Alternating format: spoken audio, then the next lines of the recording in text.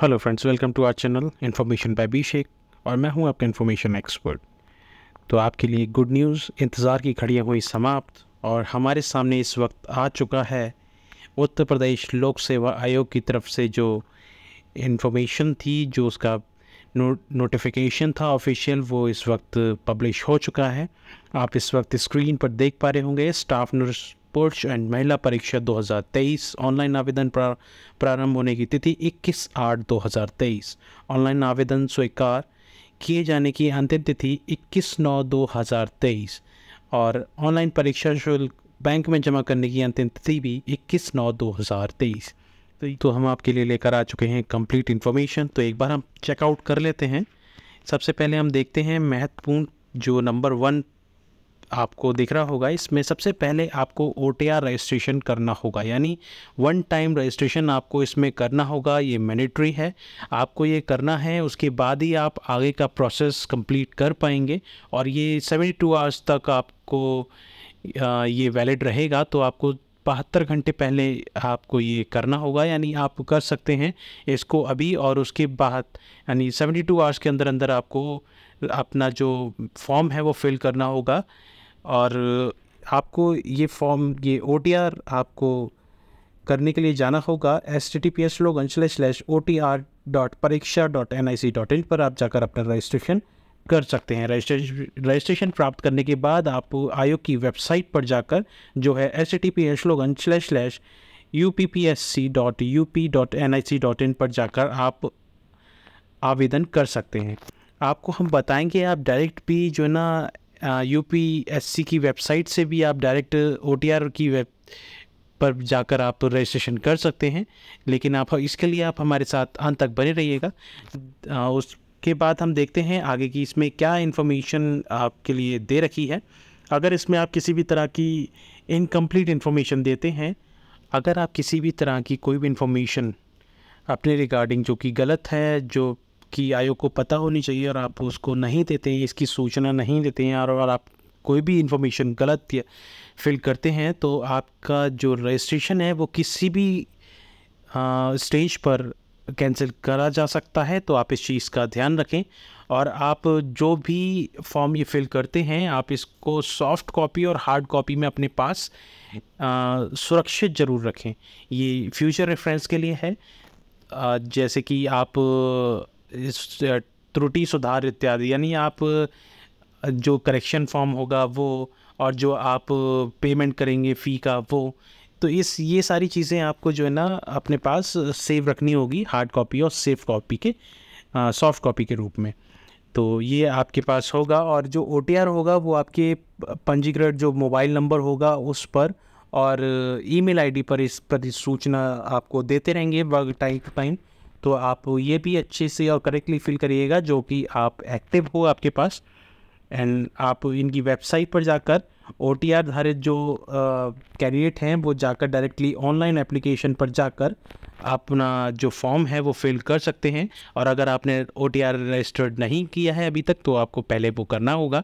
उसके बाद ही आप आगे का प्रोसेस कर सकते हैं। आपका जो फॉर्म है वो तीन भागों में विभाजित किया गया है। जो पहला है user instruction, view advertisement and apply, जो थर्ड होगा। तो आप ये सब अपने आप आप अच्छे से चेकआउट कर लीजिएगा। आपको फ़र्स्ट ओटीआर जो मैं आपको बता चुका हूँ, आपको कैसे कैसे करना है और आपको मैं प्रैक्टिकल भी आपको दिखाऊँगा कि आप किस तरह ओटीआर रजिस्ट्रेशन रजिस्टर्ड कर सकते हैं। तो आप मेरे साथ अंत तक इस वीडियो में बने रहिएगा। द्वितीय चरण जो है, वो आप इसमें देख लीजिएगा। हम सीधे चलते हैं और इस पर हम एक बार देख लेते हैं पेमेंट का। पेमेंट आप नेट बैंकिंग और card payment, other payment modes के अकॉर्डिंग आप पेमेंट कर सकते हैं। आप किसी इन, किसी भी माध्यम से, किसी भी माध्यम से आप जो है ना, अपना जो एप्लीकेशन का फ़ी है, वो आप सबमिट कर सकते हैं। फोर्थ चरण में आप डैशबोर्ड पर जाके आप जो भी मॉडिफाई सबमिट अगर आपको सबमिट करना है, आप सबमिट कर सकते हैं। आप अगर आपको अपना फॉर्म मॉडिफाई करना है तो आप मॉडिफाई भी कर सकते हैं। तो और उसके बाद हम देख लेते हैं आवेदन शुल्क।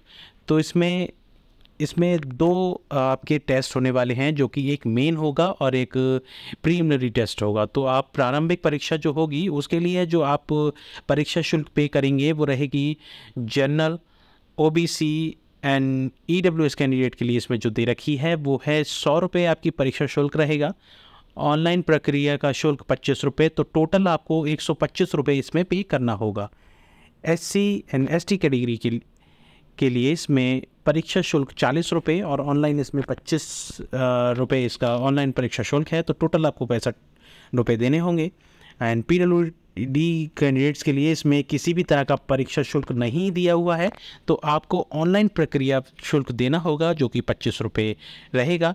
भूतपूर्व सैनिक, यानी एक्स सर्विसमैन कैंडिडेट्स के लिए इसमें परीक्षा शुल्क 40 प्लस ऑनलाइन जो शुल्क है, पच्चीस रुपये वो आपको पे करना होगा। इसका टोटल जो होता है, वो होता है सिक्सटी फाइव रुपीज़ तो आपको पैंसठ रुपये इसमें देने होंगे।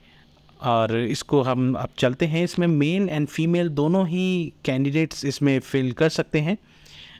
इसमें जो पुरुष के पद के लिए जो कुल रिक्तियाँ हैं, वो रहेंगी एक सौ इकहत्तर एंड जो महिला पद की रिक्तियाँ हैं, कुल रिक्तियाँ, वो रहेंगी दो हज़ार उनहत्तर। तो ये आपको यानी 2069 पोस्टें इसमें महिला उम्मीदवारों के लिए है staff nurse and male staff nurse के लिए इसमें एक सौ इकहत्तर पोस्टें रहने वाली हैं। आपका वेतनमान जो रहेगा इस वैकेंसी में, वो रहेगा तिरानवे सौ से लेकर चौदह हज़ार आठ सौ ग्रेड पे, छियालीस सौ आपका रहेगा तो आप आपका लेवल सेवन पे मैट्रिक्स रुपये आपकी जो सैलरी रहेगी वो चवालीस हज़ार नौ सौ से लेकर एक लाख बयालीस हज़ार चार सौ रुपये तक आपकी सैलरी इसमें रहने वाली है। तो आपको सैलरी तो इसमें काफ़ी अच्छी मिलेगी। और आरक्षण जो मिलेगा वो यूपी के जो कैंडिडेट्स हैं, जो यूपी का जिनके पास डोमिसाइल है, केवल उन्हीं को आरक्षण इसमें दिया जाएगा। इसमें क्लियरली मेंशन हो रखा है। आप इसको चेकआउट कर सकते हैं। एंड इजेंशियल क्वालिफिकेशन और एक बार हम लोग देख लेते हैं। स्टाफ नर्स पुरुष के लिए इसमें आप G N M B S C and post B S C nursing candidate आप इसमें अप्लाई कर सकते हैं। आपके पास इंडियन नर्सिंग काउंसिल और यूपी स्टेट नर्सिंग काउंसिल का रजिस्ट्रेशन होना इसमें मस्ट है। एंड सेम स्टाफ नर्स के लिए भी इसमें इंडियन नर्सिंग काउंसिल और यूपी स्टेट नर्सिंग काउंसिल के साथ आपका होना मस्ट है। इसमें भी G N M B S C and post B S C nursing candidate आप इसमें अप्लाई कर सकते हैं। आप इस वक्त स्क्रीन पर देख पा रहे होंगे जहाँ पर नोट लिखा हुआ है, माध्यमिक शिक्षा परिषद, उत्तर प्रदेश की पत्र संख्या परिषद नौ, बटा सात सौ तैतालीस, दिनांक पच्चीस दस दो हज़ार सोलह द्वारा निम्नकांकित निम्नांकित परीक्षा संस्थाओं द्वारा संचालित परीक्षाओं को हाई स्कूल परीक्षा के समक्ष स्वीकार किए गए हैं, किया गया है। अगर आपने ये, आपके जो देख रहे हैं इस वक्त ये सारे बोर्ड्स हैं, अगर आपने इसमें से किसी भी बोर्ड से आपने अगर आ, अपना हाई स्कूल कंप्लीट करा है यानी टेंथ आपने अगर क्लियर करा है तो आप इस वैकेंसी के लिए एलिजिबल नहीं होंगे।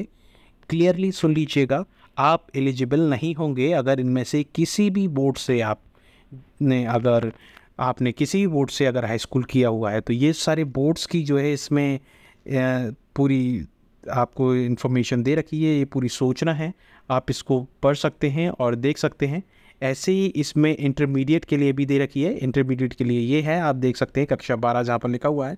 ये सारे बोर्ड्स के नाम है। अगर आपने यहाँ से इंटर करा है, यानी आपने टेन प्लस टू अगर यहाँ इनमें से किसी बोर्ड से अगर आपने क्लियर करा है तो आप इस पर, इसके लिए जॉब के लिए एलिजिबल नहीं होंगे। तो आप इसको एक बार चेकआउट कर लीजिएगा कि आप कहीं आपका जो बोर्ड है, वो इसके समक्ष तो नहीं आता है, इसके अंतर्गत नहीं आता है। अगर आता है तो आप एलिजिबल नहीं हैं। और ये जो भर्ती है, वो सीधी भर्ती है। तो पुरुष और महिला के लिए तो आप इसको अच्छे से चेकआउट कर लीजिएगा। और सबसे बड़ी बात, इसमें जो है ना, आपका एक्सपीरियंस के अकॉर्डिंग आपको इसमें नंबर्स भी मिलेंगे। वो आपको हम बताएँगे। इस, देखिए, इस पे लिखा हुआ है। एक संविदा के आधार पर सेवा के प्रथम पूर्ण वर्ष के लिए तीन अंक और दो संविदा के आधार पर सेवा के अगले एवं प्रत्येक पूर्ण वर्ष के लिए आपको तीन अंक प्रति वर्ष के लिए दिए जाएँगे। तो आपको हर, आपको अभी तक कितना भी एक्सपीरियंस होगा, अगर आप संविदा पर अगर आप जॉब कर रहे हैं स्टाफ नर्स के पद पर यूपी में तो आपको इसमें जो है आपको प्रत्येक वर्ष का तीन अंक दिया जाएगा। टोटल मार्क्स इसमें पंद्रह इसमें रहने वाले हैं। आपको मैक्सिमम जो अंक मिलेंगे वो पंद्रह रहेंगे। तो आप के लिए ये बेनिफिट है जो संविदा में जो जॉब कर रहे हैं उनके लिए अभ्यर्थियों के लिए इसमें गुड न्यूज़ है। चलिए अब हम आगे की इन्फॉर्मेशन एक बार और चेक कर लेते हैं। इसमें आपको हम अंतिम जो आ, आप जब अपना सबमिट कर देंगे तो आप उसका मैं पहले ही बता रहा हूँ, आप एक बार उसको जब सबमिट करने से पहले आप उसका प्रिंट ज़रूर ले लें। एज लिमिट देख लेते हैं हम लोग। मिनिमम एज इसमें twenty one years and maximum age इसमें फोर्टी ईयर्स दे रखी है। और जो अनुसूचित जाति और जो भी रिज़र्व कैंडिडेट हैं यूपी के, उन्हीं को केवल इसमें छूट मिलने वाली है। तो ये आप देख लीजिएगा।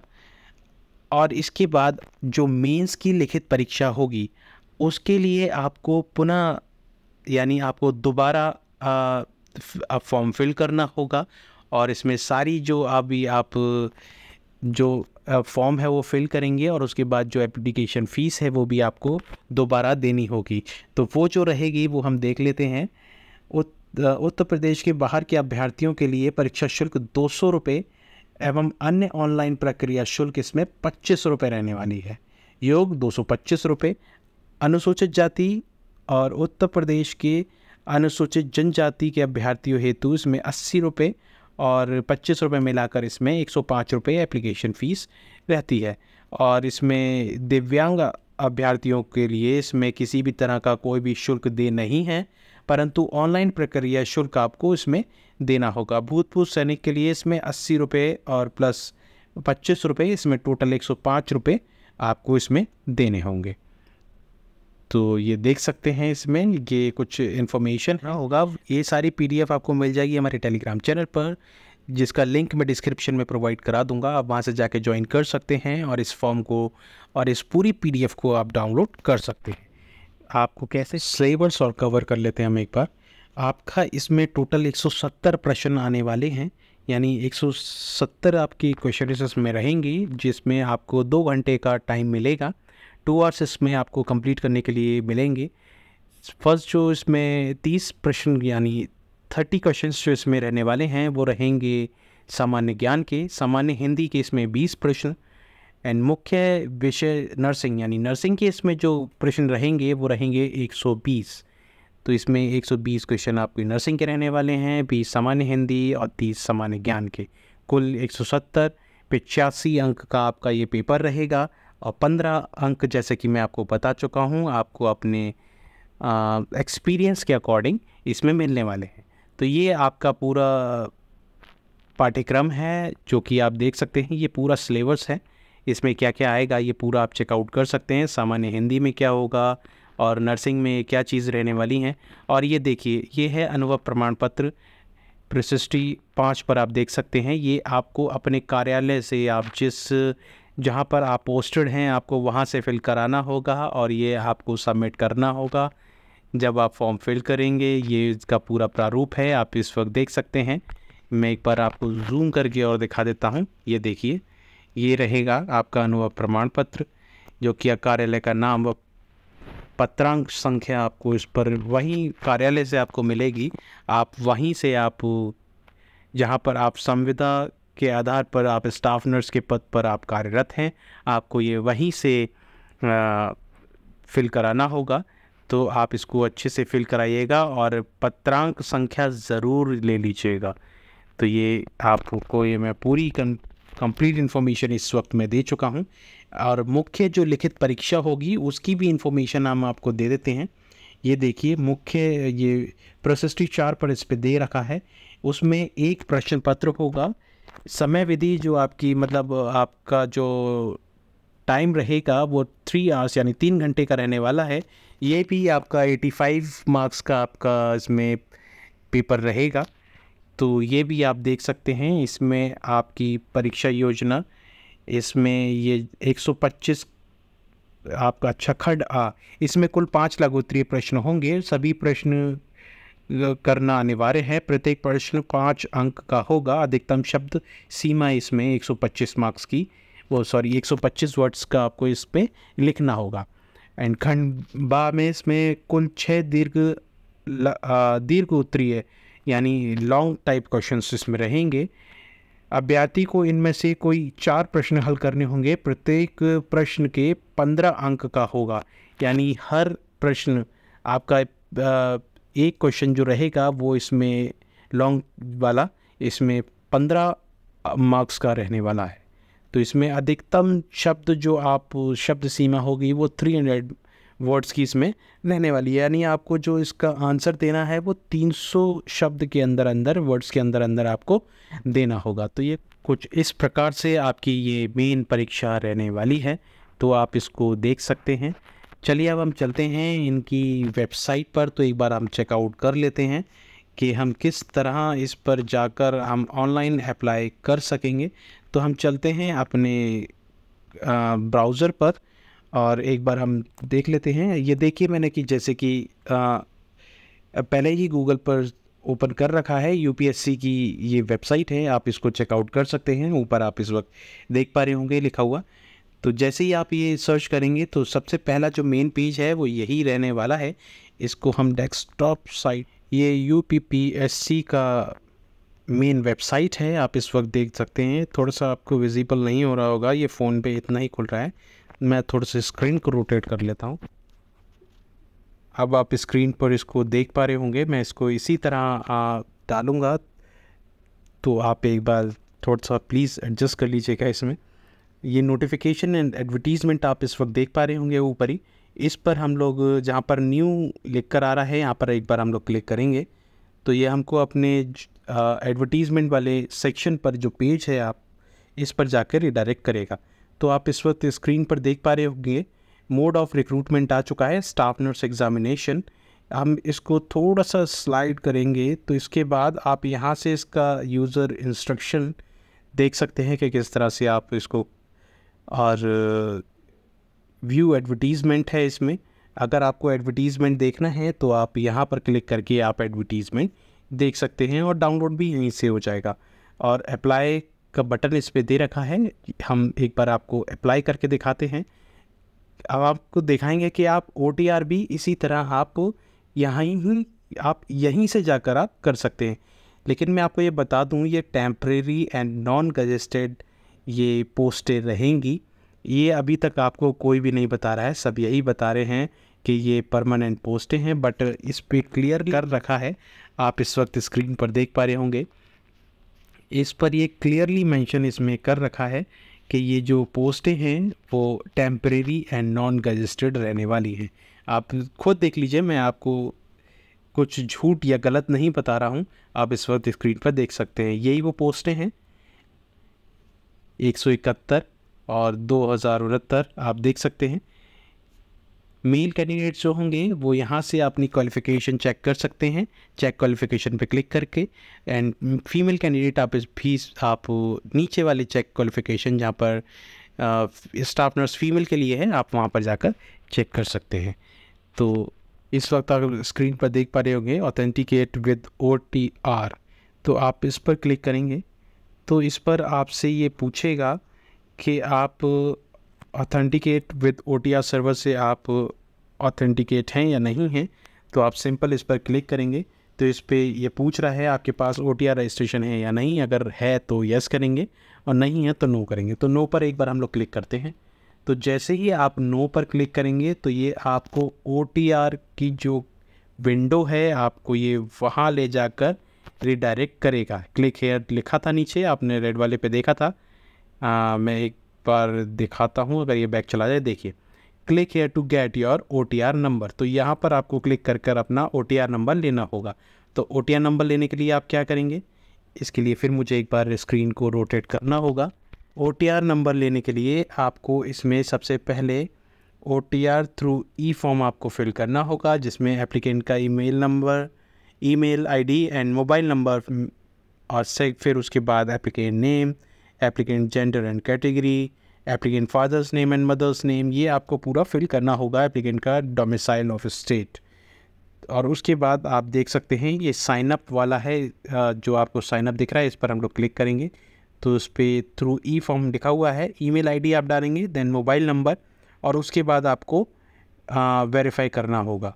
मेल भी और मेल या मोबाइल नंबर कुछ भी आप वेरीफाई कर सकते हैं। फिर उसके बाद आप देखेंगे नीचे आपको सेकेंड स्टेज में आपको अपनी फ़ोटो जिस, जो कि छः पाँच इंटू छः इसकी जो साइज़ होना चाहिए और सिग्नेचर का छः इंटू तीन आपका साइज़ होना चाहिए। उसके बाद आप इस पर अपना Aadhaar number name middle name last name अब ये पूरा फिल करने के बाद आप जो वेरिफिकेशन कैप्चा कोड है, आपका ये जो कैप्चा कोड है, इस वक्त देख पा रहे होंगे।